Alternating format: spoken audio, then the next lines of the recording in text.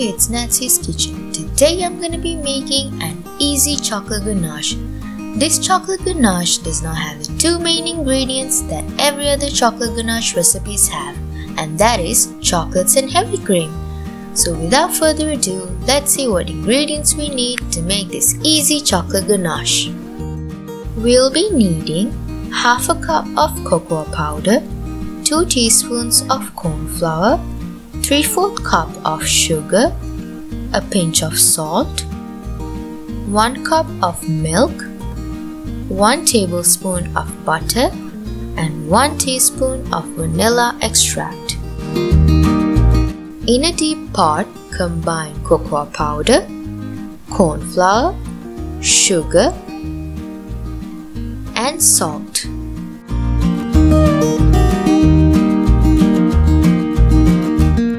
Gradually add the milk while whisking.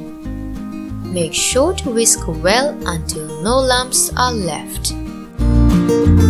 Then place the pot over medium heat and keep stirring until the mixture thickens.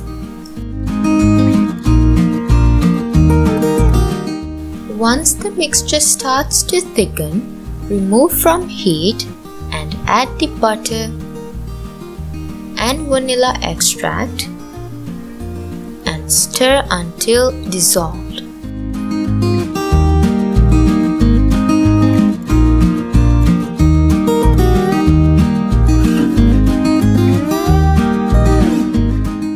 Let the ganache come to room temperature and then refrigerate the ganache for about 15 to 20 minutes before using.